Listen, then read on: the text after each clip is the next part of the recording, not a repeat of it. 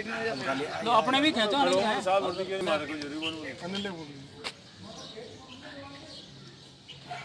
दो गाड़ियाँ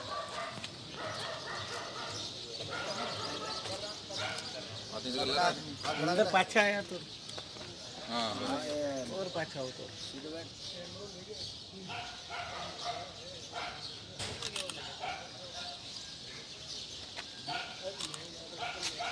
थोड़ा पाछा आ एक मिनट भाई सामने देख रहे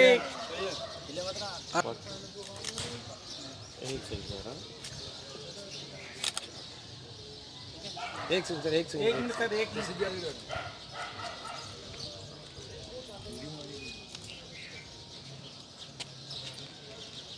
शादी मत चले एक सेकंड नहीं तो ऊपर ऊपर काट। हो एक सेकंड एक सेकंड खड़ा खड़ा रहे।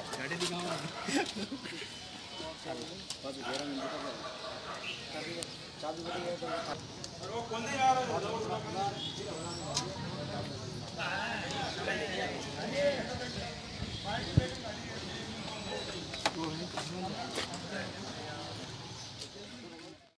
क्या मामला है और किस तरह से इसमें अनुसंधान चल रहा था और कब इन्होंने घटना को अंजाम दिया था?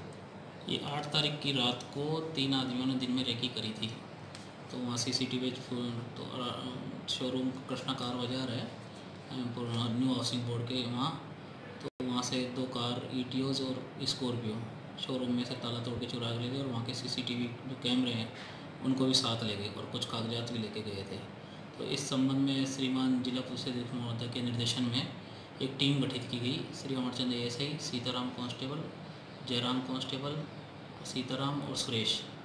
तो इसकी सरगर्मी से तलाश की गई तो पता चला कि दो नकबजन हैं, राजू और जय सिंह ये अभी हाल ही जेल से छूटे हैं। तो पता चला कि इनके पास ये गाड़ियाँ हैं। तो आज इतना मिली कि ये बोराडा के जंगलों में कहीं गाड़ी का सौदा वौदा करने आए हुए हैं बेचने के लिए। तो इस फिर अमरचंद ए को, इनको जाब्ते को वहाँ भेजा। तो मंगल मंगल एक जो नकबजनी में शामिल था, वो दो गाड़ियाँ बरामद हुई। जिनको हम थाने लेके आए हैं। अब इससे पूछताछ की जा रही है। अन्य वारदातों का भी खुलासा होने की संभावना है। सर क्या शातिर बदमाश अपराधी पहले भी जो घटना को अंजाम दे चुका है क्या शातिर है? या किस तरह से वारदात को अंजाम देने की फिराक में रहते हैं? ये पुराने नकबजन है अभी छः महीने पहले आरआई में छः सात वारदातें करना बताया इन्होंने। उनमें चलान गया और जो उसमें जेसी में चल रहे थे अभी छूटे हैं। सर आज जो आरोपी पकड़ा कौन है और कहाँ का रहने वाला है? मंगल है ये बोराडा क्षेत्र का रहने वाला है। आगे किस तरह से अनुसंधान कर रहे हैं इस मामले में? जो फरार आरोपी हैं उनकी किस तरह से तलाश की जाएगी?